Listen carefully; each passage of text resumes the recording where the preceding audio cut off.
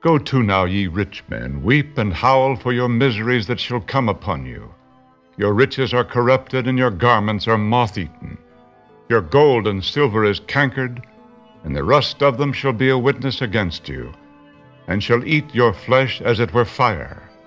Ye have heaped treasure together for the last days.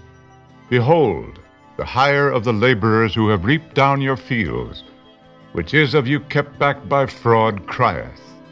And the cries of them which have reaped are entered into the ears of the Lord of Sabaoth. Ye have lived in pleasure on the earth and been wanton. Ye have nourished your hearts as in a day of slaughter. Ye have condemned and killed the just, and he doth not resist you. Be patient, therefore, brethren, unto the coming of the Lord. Behold, the husbandman waiteth for the precious fruit of the earth, and hath long patience for it, until he receive the early and latter rain. Be ye also patient, establish your hearts, for the coming of the Lord draweth nigh. Grudge not one against another, brethren, lest ye be condemned. Behold, the judge standeth before the door. Take my brethren the prophets, who have spoken in the name of the Lord, for an example of suffering, affliction, and of patience. Behold, we count them happy which endure. Ye have heard of the patience of Job, and have seen the end of the Lord, that the Lord is very pitiful and of tender mercy. But above all things, my brethren, swear not, neither by heaven, neither by the earth, neither by any other oath. But let your yea be yea, and your nay, nay, lest ye fall into condemnation. Is any among you afflicted? Let him pray. Is any merry? Let him sing psalms. Is any sick among you? Let him call for the elders of the church, and let them pray over him, anointing him with oil in the name of the Lord. And the prayer of faith shall save the sick, and the Lord shall raise him up. And if he have committed sins, they shall be forgiven him. Confess your faults one to another, and pray one for another, that ye may be healed. The effectual fervent prayer of a righteous man availeth much. Elijah was a man subject to like passions as we are, and he prayed earnestly that it might not rain. And it rained not on the earth by the space of three years and six months. And he prayed again, and the heaven gave rain, and the earth brought forth her fruit. Brethren, if any of you do err from the truth, and one convert him, let him know that he which converteth the sinner from the error of his way shall save a soul from death, and shall hide a multitude of sins.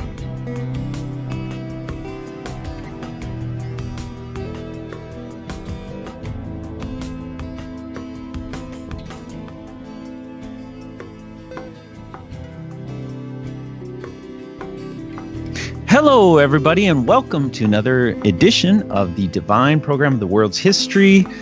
This book by Albert Close, and I'm joined here with Michael and Jörg Listman in Europe, and I'm here in the United States, in central northern United States, here in Minnesota. And we are discussing and reading, reading and discussing actually. Jörg is reading, and we are discussing the different points of history now in the second portion of the book, which is the divine program of European history, very specifically. Very interesting reading here. And Jörg, are we on page what? I forget now. I think it's 21, if I'm not mistaken, at the top of the page. Uh, 21 in the book, in the PDF, it's page 54. You are correct, as it is shown in the picture here. Beautiful. All right. So I'm ready to go. And Michael, welcome. Yeah, hello, Bret. Thanks for inviting me. Thanks for having me. I'm looking forward to our next reading of this quite interesting and quite small book, which is very much interesting in my humble opinion, and it quite fits to this underrating gentleman I'm now connected with, with on this underrated Christian channel that you are running. So let me, yeah, let me uh, stop talking and uh, yeah, let's let me enjoy this reading. Good. Let's go right into the reading. As Bret says, on page 21 in the second part of the book and page 54 in the PDF of 168. So we are coming close to one third of the book reading up to now. We were speaking about how the Jesuits, uh, we cited that uh, on the on the previous page from Alexander Hislop here, um, how the Jesuits were surprised when they came into Asia, into Japan, and especially into China, and they saw ch- uh, and India also, and they saw child and uh, mother and child worship, as they of course adopted it. Um, from Babylon into Christianity, what they at least call Christianity, and they were surprised to find the same, uh, the, the, the, same worship in the uh, Asiatic countries. Of course, this is no surprise for anybody who studies the matter as Alexander Hislop did when he wrote his book, because we all know that all these um, religions have the same root, and they're coming out of Babylon. And they took the mother and son worship from Babylon into Asia, which we know today as India and China. And of course, they took the same into Europe via uh, Babylon, Medo Persia, Greece, and then Rome which is finally the kingdom that we are talking about here. Speaking of 1248 in the history of um, uh, of the development of the beast of the papal and antichrist system as we were speaking earlier so we see here in 1248 AD and this is today by the way the 24th reading we do of this book another striking proof that worship of the Madonna and her son came from Babylon and not from Palestine lies in the fact that the Italian Madonna is represented as of fair complexion with golden hair. The Virgin Mary was a Jewess and her son was a Jew. Jewish features are of, uh, are of a type of uh, and character peculiarly their own, and the hair is invariably black. The remarkable characteristic of the original Italian Madonnas is that they have nothing whatsoever of the Jewish form of features, but they do exactly resemble the Babylonian Madonna as found by Sir Robert Kerr Porter among the ruins of ancient Babylon during his tour in 1870 through 1822. Also, this is taken from Alexander Hislop's book. And what do you think why the quote unquote Illuminati chose the singer Madonna as their quote unquote mother of harlots, who is blonde, by the way, huh? Just as the Babylonian Madonna is, and nothing like the real mother of Jesus Christ would have looked like, the quote unquote Virgin Mary, as the, it is worshipped in the Roman Catholic Church, who is not a virgin anymore because she bare sons and um, daughters for her husband Joseph after giving the immaculate birth of Jesus Christ before. Most of these Babylonian abominations were cast out of the Reformed Church of Christ at the Reformation. Yeah, and that's a big pity that it says most of these Babylonian abominations were cast out instead of all Babylonian abominations were cast out. It should have read all Babylonian abominations were cast out because you cannot mix the holy with the profane. And the reformers also were not perfect people and they had a mistake here and there, and that is why only most of the Babylonian abominations were cast out of the Reformed Church of Christ at the Reformation. For example, they kept the cross. But that's a whole other subject. Many festivals uh, the author continues, many festival days still observed are old pagan festivals. Christmas Day is not the day on which our Lord was born. It was an old pagan festival, and the Church of Rome tacked the name of Christ onto it, and we still observe it as if it were the true date of Christ's birth. Easter and the sacred eggs, extreme unction, the confessional, purgatory, and prayers for the dead, idol processions, relic worship, clothing and crowning of images, the rosary and the worship of the Sacred Heart, or the Holy Heart, the sovereign pontiff, college of cardinals, celibate priests, monks, and nuns All these came from ancient Babylonian worship. Now, if you want to see a few videos that I produced in this regard, I can show you something um, right here when it opens Cool. up. Um, yeah, hello, open. Uh, we go to Isn't the irony? Isn't this funny? Today is is Easter Sunday. yeah, that's what they sell it uh, to the world. Yeah, yeah. Ishtar Sunday. Yeah. That's why I don't even mention it. Yeah. Um, listen, uh, we can go to this playlist here, Babylon Mystery Religion.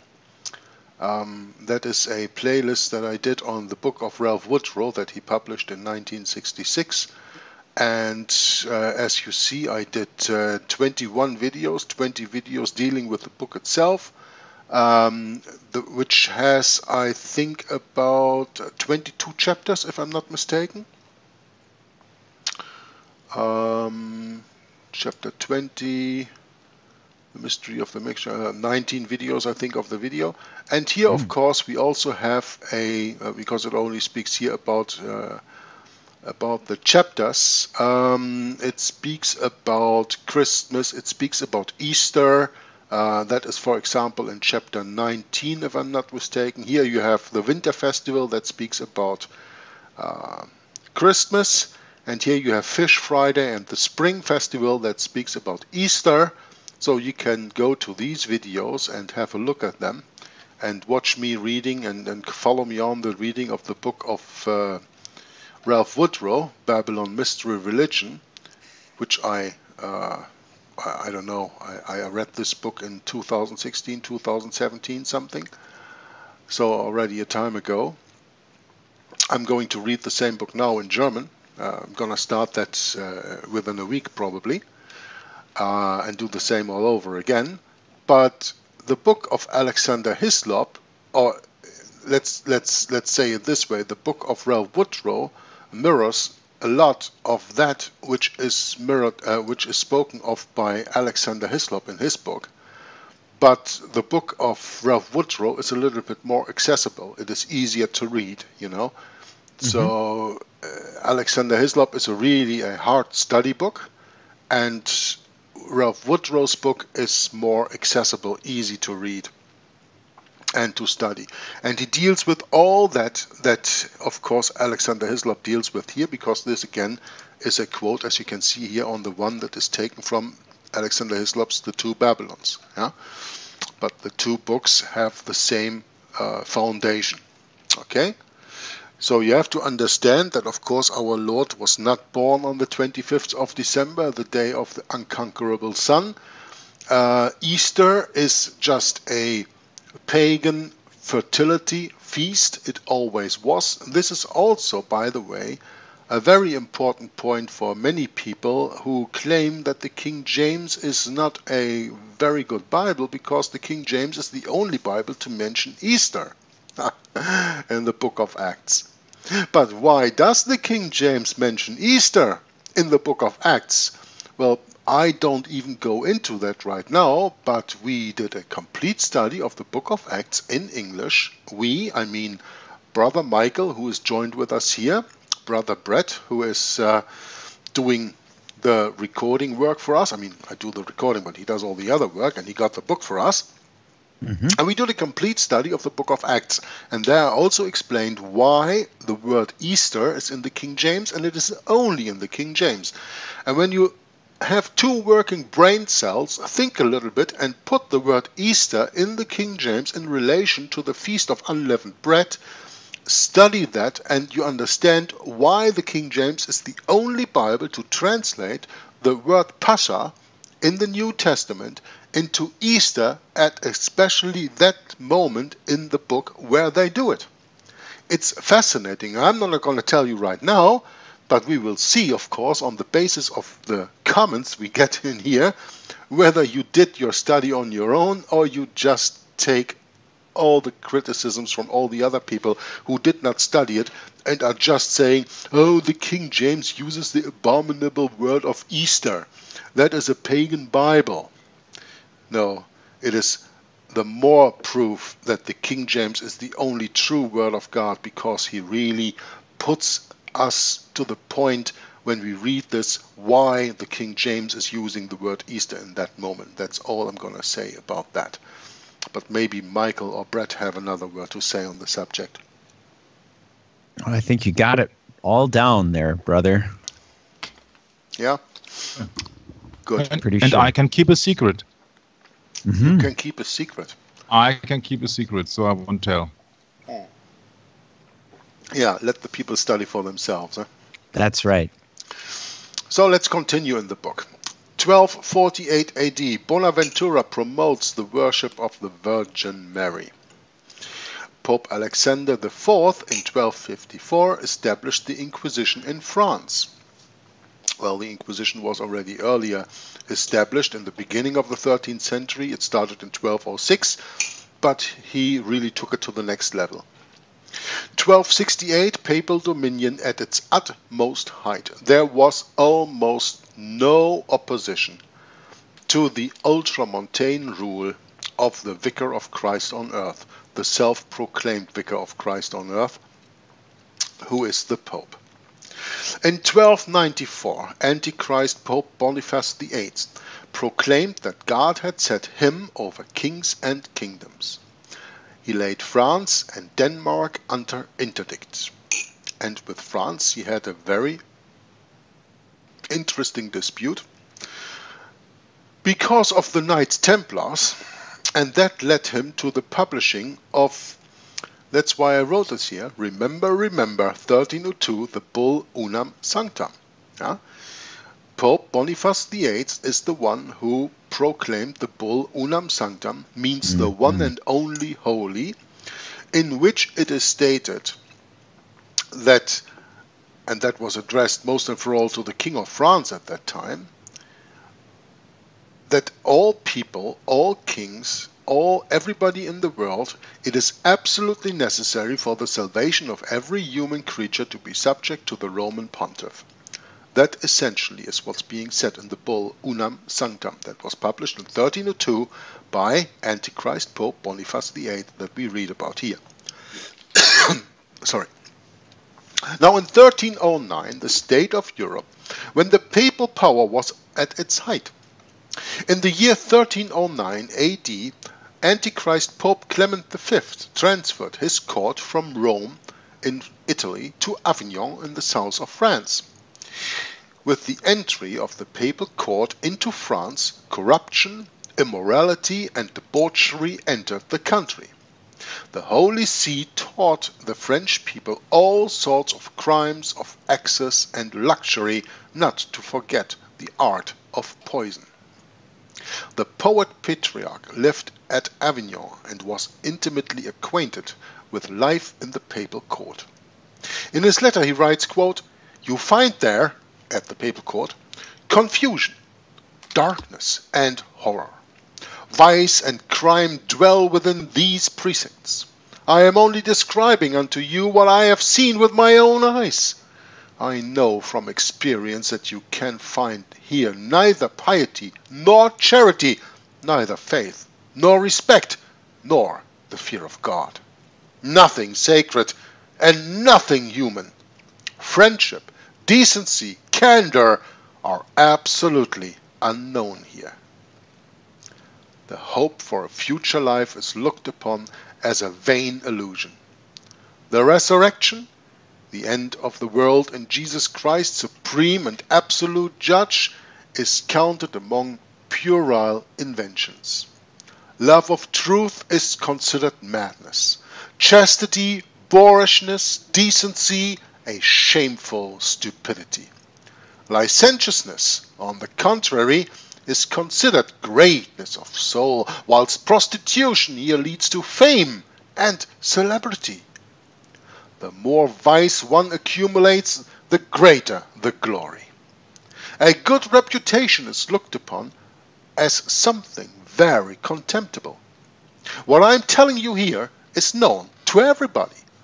These holy, debauched, and libidinous, saintly old men, forgetting their age, their position and rank, fearing neither name, blame nor dishonor, spend in banquets and orgies their days which they ought to have employed in regulating their life after that of Christ. Seems like he speaks of 2019, huh? I was going to say, Jörg, there's some serious parallels going on, isn't there? Yeah. And today it is with all the child abuse that is actually coming up out in oh. the ah. air.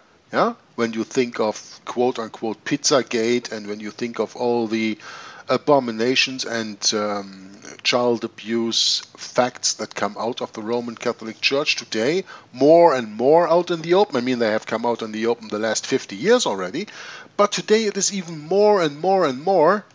And, mm-hmm. and but people don't recognize it, you know. Well, almost, I almost think nobody they talks do. About they do, however, yeah, it's not uh, kosher to talk about it. At least uh, in the um, in the sense of uh, it's not uh, fashionable. Let's put it that way. Yeah. At all. In fact, you know, it's everything. Oh, you're conspiracy theorist kind of BS. you know. Yeah. It's time to kick that to the curb. No, conspiracy is the reality that we live because we are born again Christians who believe Christ came to die and suffer for our sin on our behalf, and that his propiti- his propitiation, excuse me, is sufficient enough, and that we live a new life now. What we see from what I just read here, Bret, is just that there is nothing new under the sun. Yeah, perfect everything that happened here in the beginning of the 14th century that is written down here by the patriarch that lived in Avignon is exactly the same thing the same person could write today. It continues to say in 1309 still, thus the unworthy prelates think to stop time, which is running fast. Satan, with an air of satisfaction, presides at their festivals, regulates their pleasures, and constantly finds his seat between the depraved old men and the young virgins, the objects of their nauseous amours. He is surprised to find that their sins by far exceed his temptations. Satan is surprised to find that their sins by far exceed his temptations. I shall not speak of violation, rape, adultery, and incest. They are trifles at the pontifical court. Unquote. And so on the chronicler goes. But what he writes, no man dare print in English today. Now, that is a confirmation of what we just said regarding 2019, instead of Albert Close writing this book in 1916. Dean Milman in his History of the Latin Christianity, Volume 7, page 453, breaks off his quotations from Petrarch's letters, remarking, quote, I must pause. I dare not quote even the Latin. Unquote. Truly, these were the dark ages. In 1316 AD, Antichrist Pope John XXII pursues persecution begun by Innocent III. In 1342, Antichrist Pope Clement VI urges forward the persecution of the Vaudois, or Waldenses as we already learned earlier. In 1374, we have the rise of the morning star of the Reformation, John Wycliffe. On his return from Rome, he declares his conviction that the Pope is the biblical, historical, and prophetic Antichrist. The Reformation thus really originated in Britain, in the nation whose children and offspring afterwards carried the scriptures all over the world. In 1378 AD, Wycliffe translates the New Testament from the Latin and publishes it in English and arouses the furious anger of the priests. Many readers were burned at the stake with the copies of the scriptures tied around their necks. The Great Schism of the West. two popes, Urban VI and Clement VIII, both of whom at the same time claimed to be head of the Church and vicar of Christ upon earth. In 1394, Boniface IX and Benedict XIII were antichrists, and in 1399 Jerome of Prague propagates Wycliffe's teaching in Bohemia. In 1406, Pope Gregory the XII is also appointed pope. Three popes at one time Boniface IX, Benedict XIII, and Gregory the IX. This leads to the Council of Constance, as we will lead, read later on. Three popes at one time. Gregory and Benedict refuse to appear before the Council of Pisa, which appoints a third pope, Alexander V. Each of the three popes had his adherents, and each excommunicated the others. So far, dear brothers and sisters, on papal infallibility. Huh? Mm-hmm. Mm-hmm. 1416. Right. The martyrdom of Sir John Oldcastle and Lord Cobham, burned as a heretic. And of course, he, skips the history of the Council of Constance in 1415, where Jan Hus and Jerome were burned. Uh, the Jerome that we read of here in 1399, Jerome of Prague and Jan Hus, and they were both persecuted and burned at the Council of Constance, the Council of Three Popes, where one Pope came out later on. But he speaks of the martyrdom of Sir John Oldcastle and Lord Cobham, burned as a heretic. In 1431, the General Council of Basel in Switzerland and and of and end of the Great Schism. So in 1431, the Great Schism ended a second proclaiming of the Holy Scriptures to the world after the Dark Ages. In Revelation chapter 10, verse 11, we read, Thou must prophesy again before many people and nations and tongues and kings. So we can understand that the first prophesying against many peoples and nations and tongues and kings was the time that we are reading here, the beginning of the 15th century that ended at the Council of Constance, and the second time, again, was then the real Reformation when it kicked into a higher gear by Martin Luther in the beginning of the 16th century. I just make that up, of course, out of my own understanding. Anyway, in 1438 we have the invention of the art of printing. Yeah? Uh, Gutenberg um, perfected his book printing uh, art in 1455, as far as I know. But of course, there were years going before that where they started already kind of these printing uh, arts. And um, Gutenberg's printing was with the movable letters, so they probably had another kind of book print here before.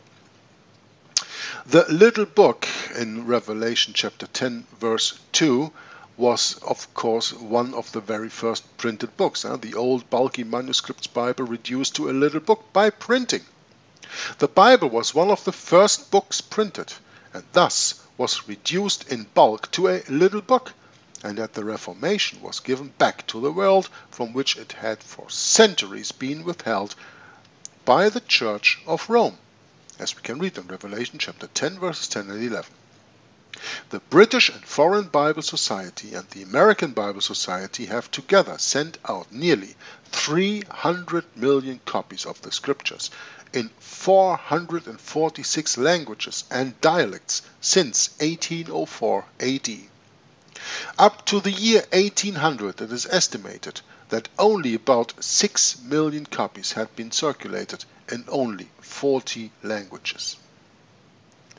In 1543 we come to the next very important historical fact, that is the fall of Constantinople. And that also, of course, is the end of the Roman Empire that was led out of the East in that time. So now we read of the prophecy of the Saracens and the Turks in Revelation chapter 9 verses 1 through 21. And the fifth angel sounded, and I saw a star fall from heaven unto the earth, and to him was given the key of the bottomless pit. And he opened the bottomless pit, and there arose a smoke out of the pit as the smoke of a great furnace, and the sun and the air were darkened by reason of the smoke of the pit.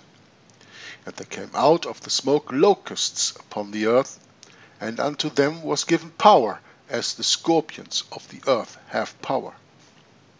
And it was commanded them that they should not hurt the grass of the earth, neither any green thing, neither any tree, but only those men which have not the seal of God in their foreheads. And to them it was given that they should not kill them, but that they should be tormented five months. And their torment was the torment of a scorpion when he striketh a man. Uh, when we read here about being tormented five months, we have to understand these five months as a prophetical time. Each month for a year. Five months, 150 days, 150 years. That is something that I read already in another place about um, this very important understanding of the book of Revelation. Maybe the author gets into it a little bit later here too.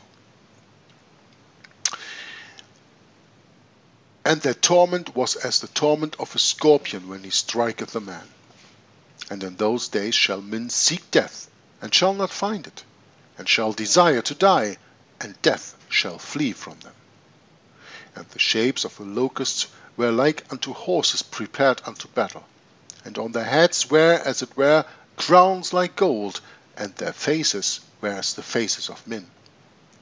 And they had hair as the hair of women, and their teeth was as the teeth of lions. And they had breastplates, as it were breastplates of iron, and the sound of their wings was as the sound of chariots of many horses running to battle. And they had tails like unto scorpions, and there were stings in their tails, and their power was to hurt men five months. Again, the same 150 prophetic days and years.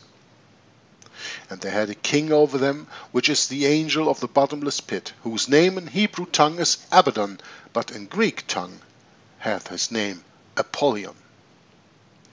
One woe is past, and behold, there come two woes more hereafter. And the sixth angel sounded, and I heard a voice from the four horns of the golden altar which is before God, saying to the sixth angel which had the trumpet, Loose the four angels which are bound in the great river Euphrates. And the four angels were loosed, which were prepared for an hour and a day and a month and a year, for to slay the third part of men. An hour, a day, a month, and a year. Now, this is prophetically. And when you count that into years in our world here, you have 360 days plus 30 plus a day plus the 24th part of a day, which is a fortnight. So you have 391 years and 14 days when you count this prophetically. This is very important to understand because when you get real history next to this prophecy, you will understand what persecution was running in those 330, uh, 391 years and 14 days. I'm not going to get into that right now because I did not prepare that, but you know, leaving this up to your own study. And the number of the army of the horsemen were 200,000, thousand, and I heard the number of them. And thus I saw the horses in the vision, and them that sat on them, having breastplates of fire, and of jacinth, and brimstone. And the heads of the horses were as the heads of lions, and out of their mouth issued fire, and smoke, and brimstone. By these three was the third part of men killed, by the fire, and by the smoke, and by the brimstone, which issued out of their mouths. For their power is in their mouth, and in their tails. For their tails were like unto serpents, and had heads, and with them they do hurt. And the rest of the men which were not killed by these plagues, yet repented not of the works of their hands, that they should not worship devils and idols of gold and silver and brass and stone and of wood, which neither can see, nor hear, nor walk. Neither repented they of their murders, nor of their sorceries, nor of their fornication, nor of their thefts. Look at the Turkish or Muslim horse tails standards with the crescent moon and the hair like women. This is taken from Elliot's Horae Apocalypticae. Very, very interesting book to read. Let me just check if my camera is running. Yeah. Today, no problem. Good. Thanks, Jörg. The arms of a nation are often prefigured in prophecy. In the case of the Turkish power, they were all important. Our greatest historical expositors see in this prophecy a description of a new destroying agency by which the horsemen overcame their enemies. They think it a plain reference to the gunpowder and artillery of the Turks, which was first used at the siege and capture of Constantinople. Again, the frequent mention in this chapter of the horses' tails and the fact that one of the Turkish military emblems is composed of horses' tails surmounted by the crescent, as shown in the above engraving. A Turkish commander once lost his standard in an engagement, and no other being at hand and no other being at hand, he cut off the tail of a horse and suspended it from the point of a spear and rallied his men around, uh, around it as a banner. Ever after it was used as a military emblem and standard. Now let the reader now notice briefly in the order in which they are given the other striking characteristics of the invading hosts which St. John beheld in this symbolic vision. And we shall see how, in the most remarkable manner, they confirm the application of this prophecy to the Turks, and, when taken all together, render the identification complete. Especial attention is drawn in verse 16 to two facts impressed upon St. John in his vision of the scourge, namely, that the invading force was composed of horsemen, and that it was exceedingly numerous, or, as it is expressed in Eastern hyperbole, twice 10,000 times 10,000. Now, precisely these two points are noticed by Gibbon. Now, you know, Gibbon, who was the author of The Rise and Fall of the Roman Empire book. In words which seem the very counterpart of the prophecy, he thus describes the invasion of the Turks, quote, myriads of Turkish horse overspread a frontier of 600 miles. Unquote. This is taken from Decline and Fall of the Roman Empire by Gibbon, the book I just mentioned. No less striking is the correspondence of their appearance. St. John says, And thus I saw the horses in the vision, and them that sat on them, having breastplates as of fire, and of jacinth, and of brimstone. Historians tell us that from their first appearance the Ottomans have, effect, have effected to wear warlike apparel of scarlet and blue and yellow, the very color suggested in St. John's description in his vision. He adds that the heads of the horses are as the heads of lions. This is an obvious symbol of the awe-inspiring fierceness of the advancing swarms of cavalry. Now we come to what is constituted the most remarkable feature, and that is the means of destruction employed by the invading horsemen. St. John just thus describes, sorry, St. John thus describes what he saw in his vision, quote, and out of their mouth proceeded fire and the smoke of brimstone. By these three plagues was the third part of men killed by the fire and the smoke and the brimstone which proceeded out of their mouth, unquote, as we read in verses 17 and 18 and this is probably not from the King James Version because it says here the RV this must be kind of a revised version of the Bible so the quotes are not completely King James. It's impossible not to notice that there, by a twofold repetition, special attention is drawn in the inspired record of the vision to a remarkable means of destruction which would come into operation in the course of this scourge, enabling it to effect its purpose of killing the third part of men, as already explained, and therefore selected by divine prescience, prescience, prescience sorry, as a prophetic symbol and characteristic of the judgment.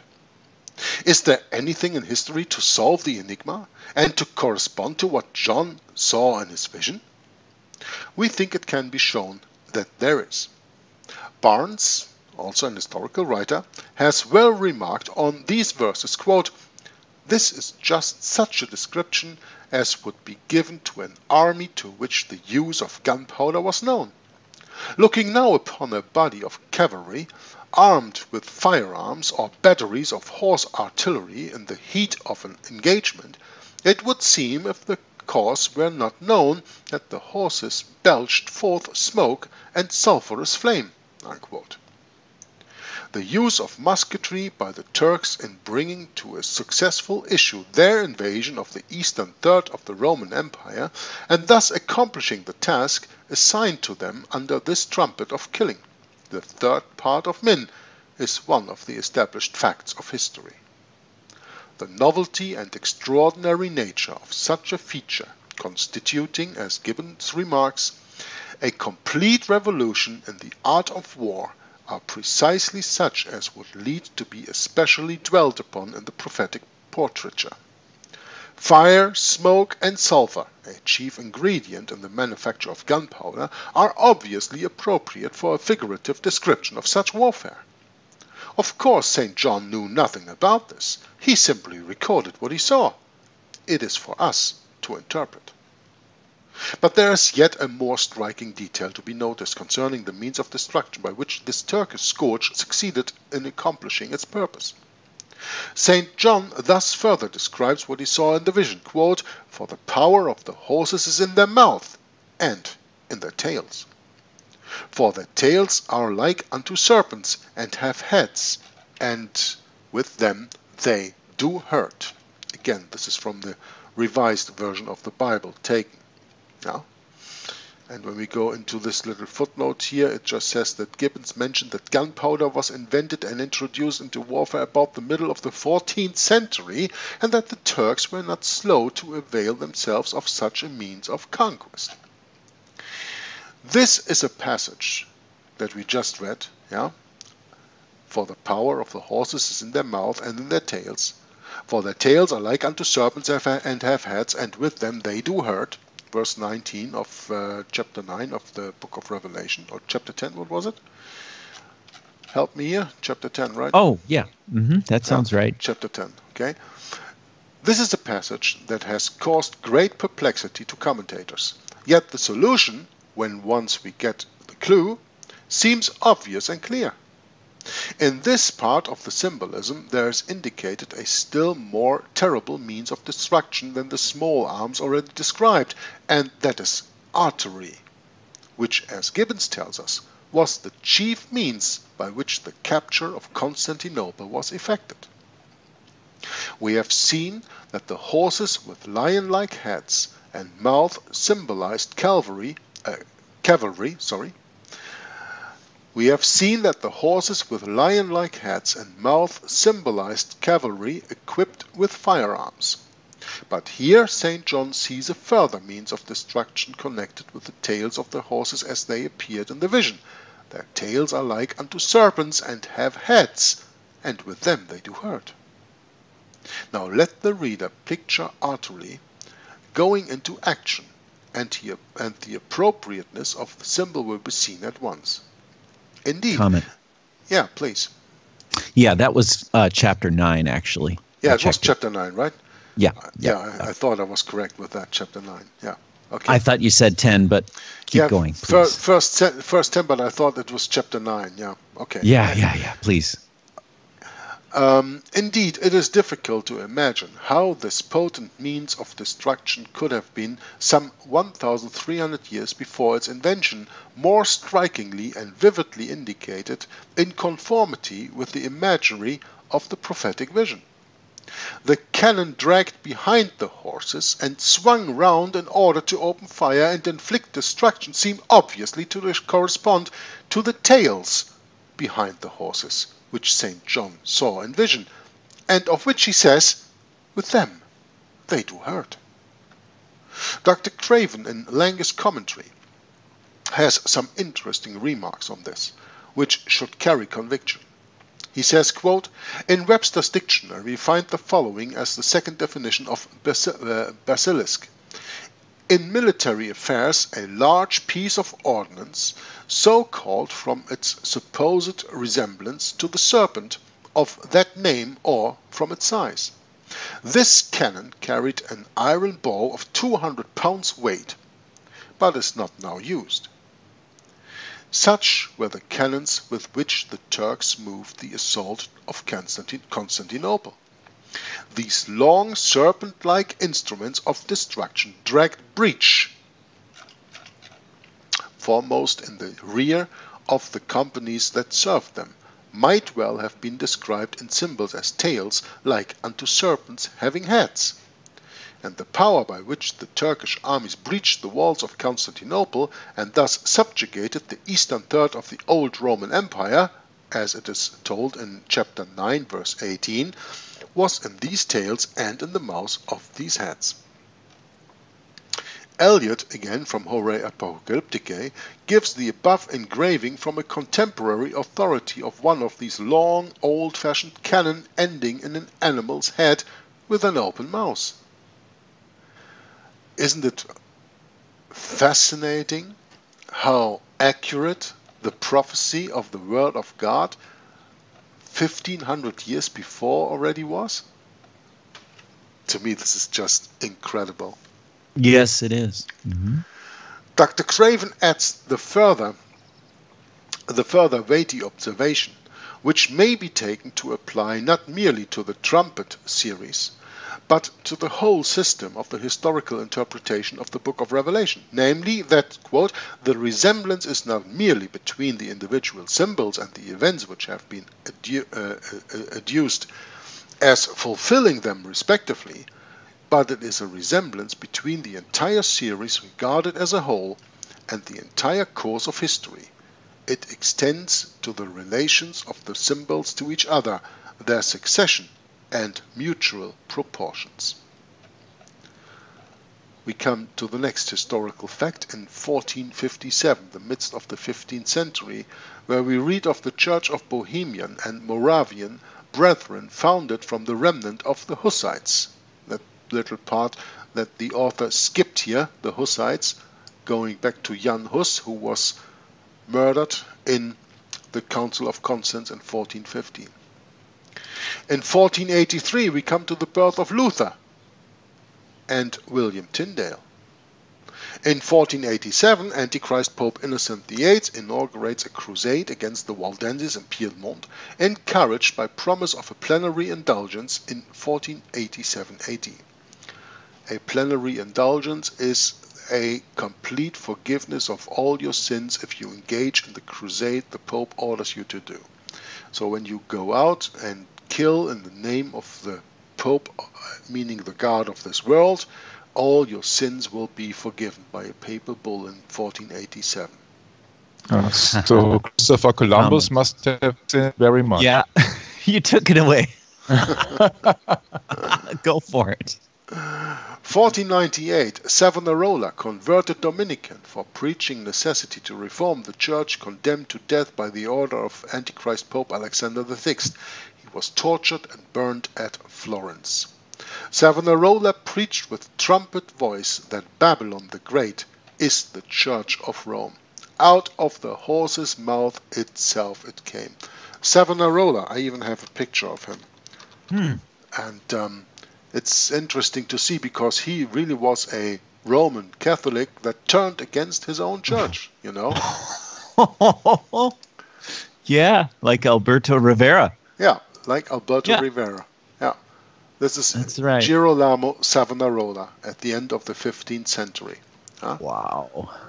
He converted, he was a he was a Dominican, he converted to Protestantism by wow. preaching necessity to reform in the church, and he was condemned to death by the order of Antichrist Pope Alexander VI.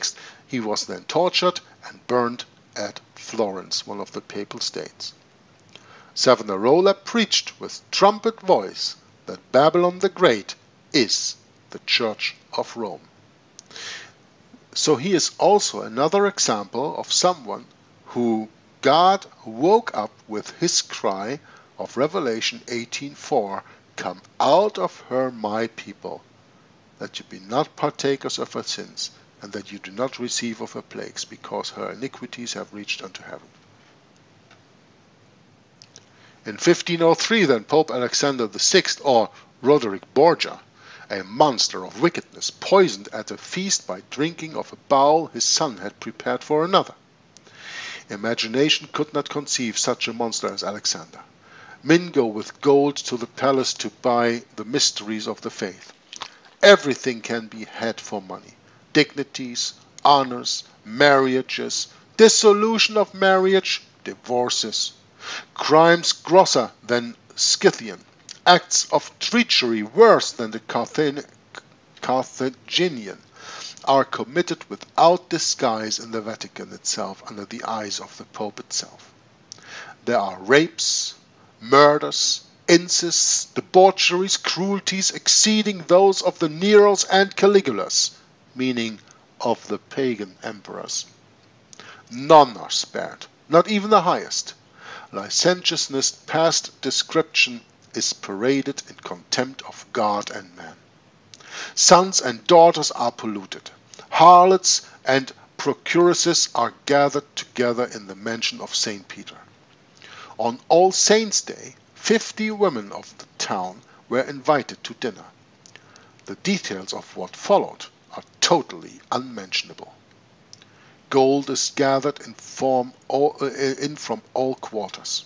Indulgences were sold in all churches of Christendom to provide a portion for the Pope's daughter, Lucretia. The son, Caesar Borgia, is, no, is so like his father that it is hard to say which is the greater monster. The cardinals of the better sort, if such there be, are silent or affect not to see. They bought their rank with money, simony. They preserve it with criminal compliance and continue to speak smoothly to the Pope and praise and flatter. When I go back to this um, playlist that I just told you about, uh, Babylon Mystery Religion, we read about what is spoken here about in chapter I think, uh, 14 or something. Um, it is uh,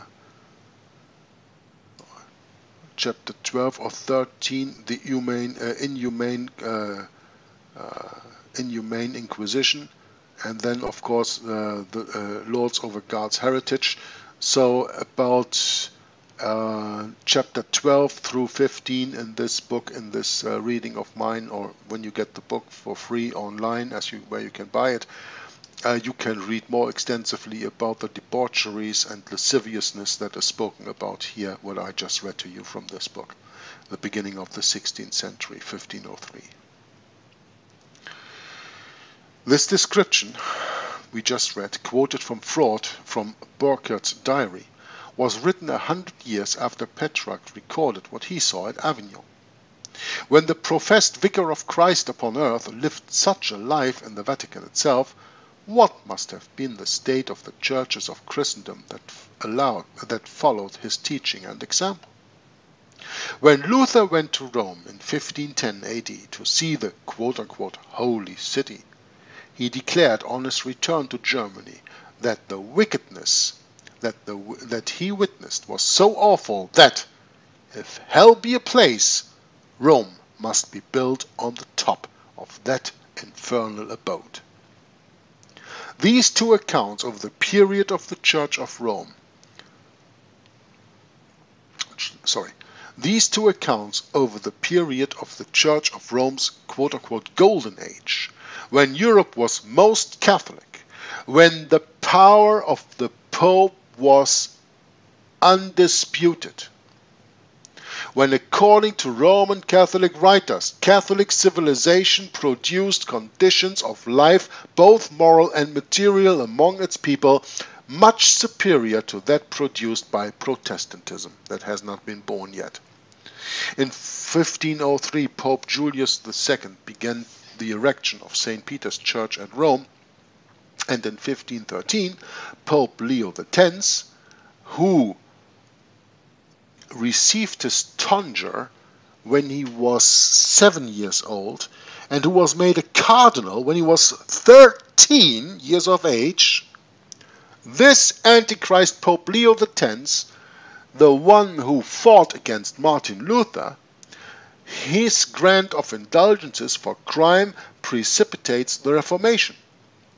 Leo X represented himself on papal medals as the lion of the uh, of the tribe of Judah, thus arrogating to himself a dignity which belongs to our Lord alone.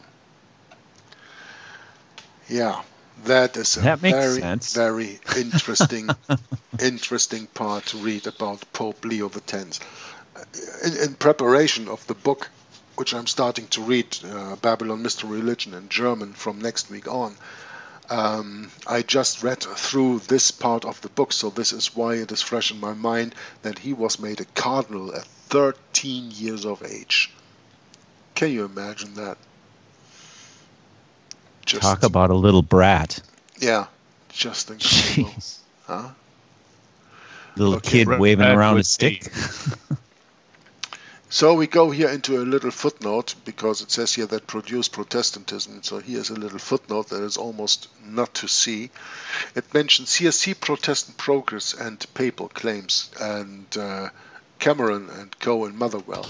After 400 years of Bible truth circulating in Europe, speaking of beginning of the 16th until the beginning of the 20th century when this book is written, we find the comparative moral state, state of the Roman Catholic and Protestant countries of Europe reflected in the criminal statistics of each country as follows.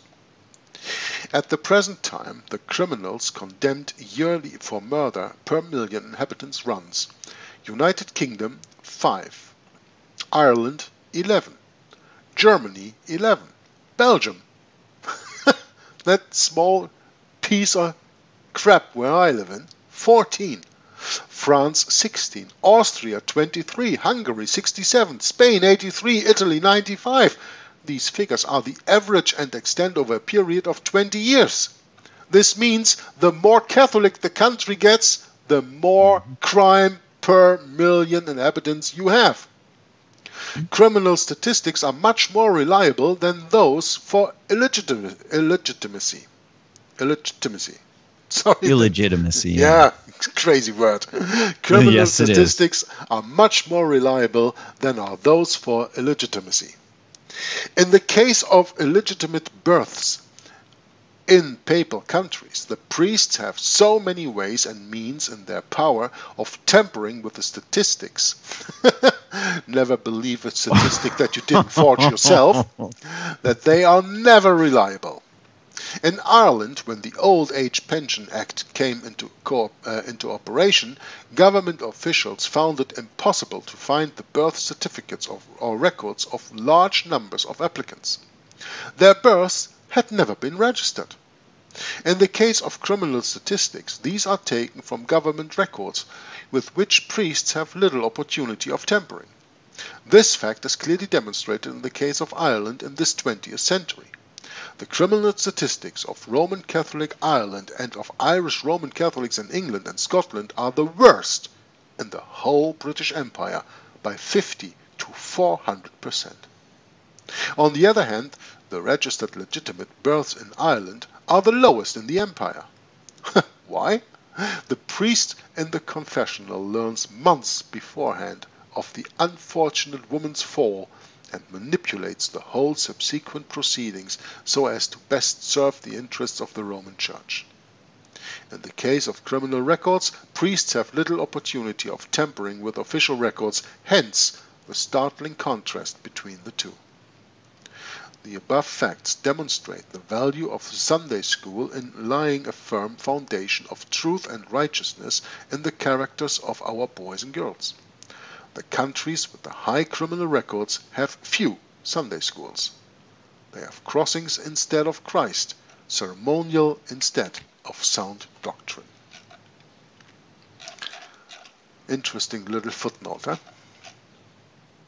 Now, how far are we into the recording today? I think we've reached about an hour, right? 55 we minutes. sure have. 55 minutes. Maybe it's time to uh, continue in 1515, and Tetzel, uh, who was selling mm-hmm. indulgences all over Germany in the time and uh, really pissing off Martin Luther, and then Martin Luther, because we start the Reformation, to do that another reading, and by that, uh, well, stop for today and reflect a little bit on the things that I've read today, because as far as I remember, I spoke about 95% of the time, so maybe now it's the time for you two brothers to say something about the, the stuff that I read, and let's discuss this a little bit for the last few minutes to get the hour full if we want to.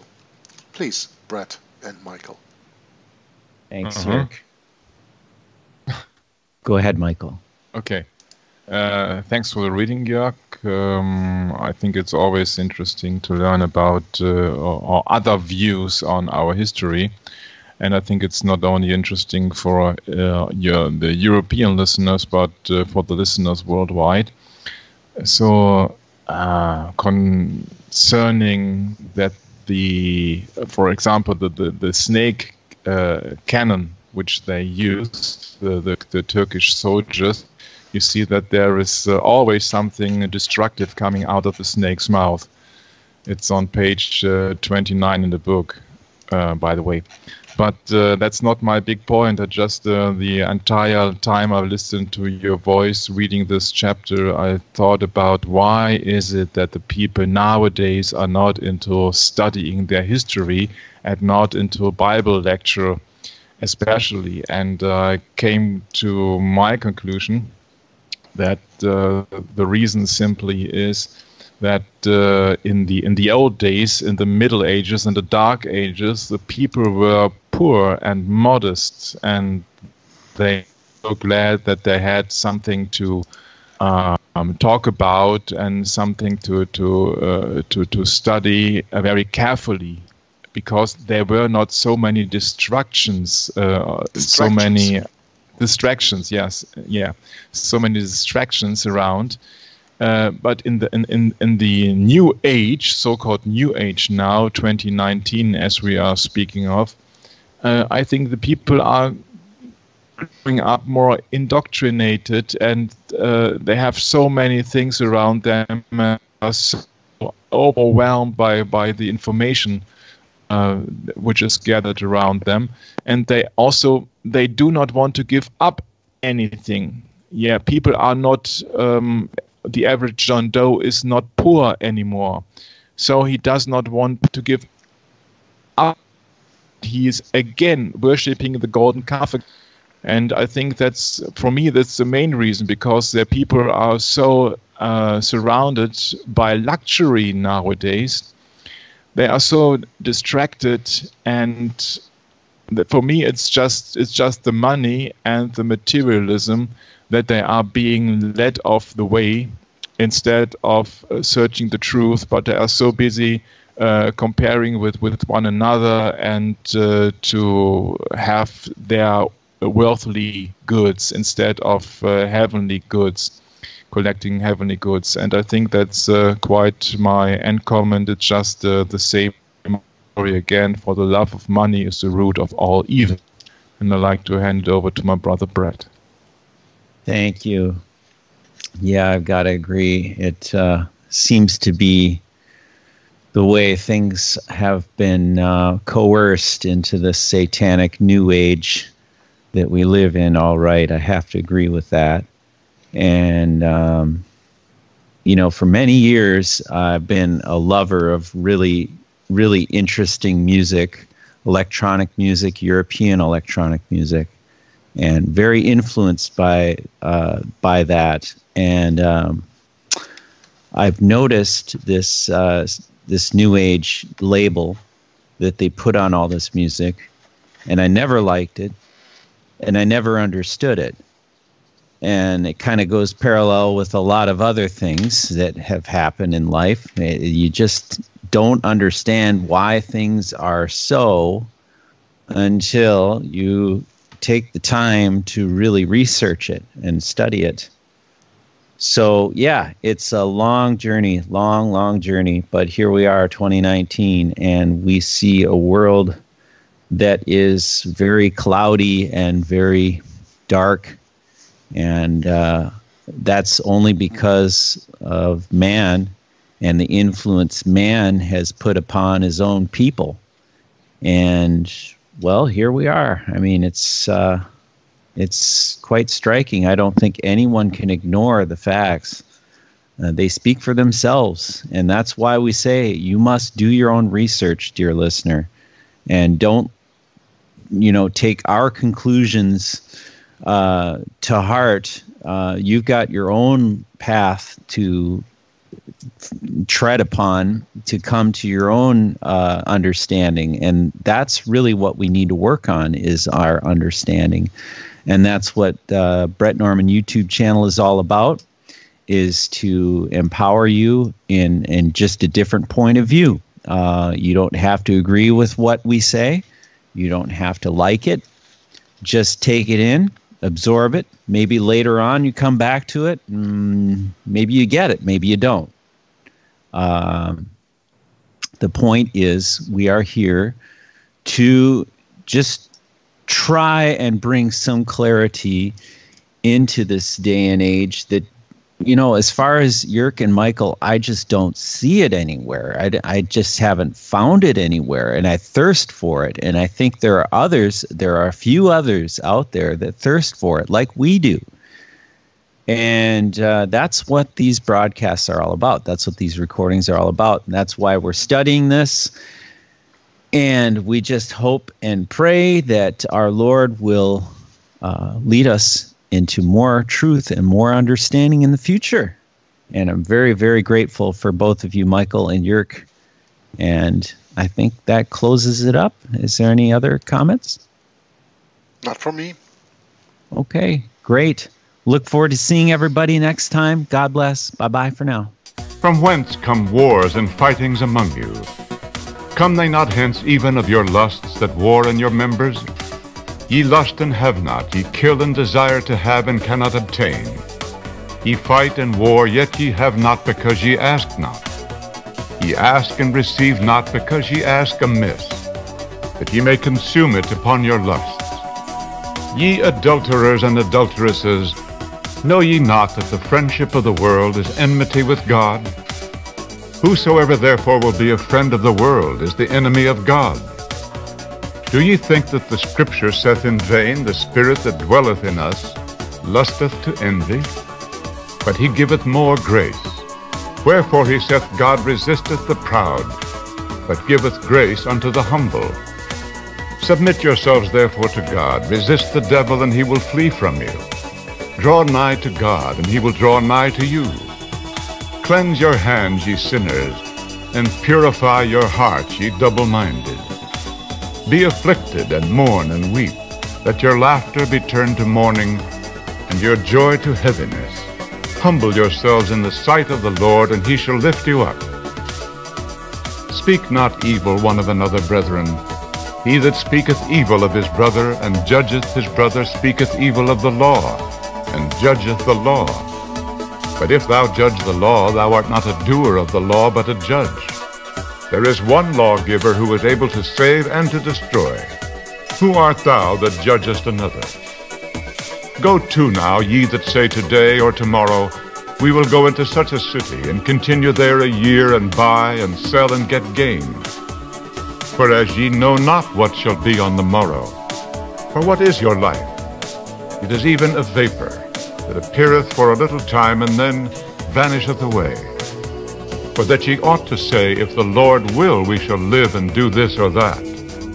But now ye rejoice in your boastings. All such rejoicing is evil. Therefore to him that knoweth to do good and doeth it not, to him it is sin. Go to now, ye rich men, weep and howl for your miseries that shall come upon you. Your riches are corrupted, and your garments are moth-eaten. Your gold and silver is cankered, and the rust of them shall be a witness against you, and shall eat your flesh as it were fire.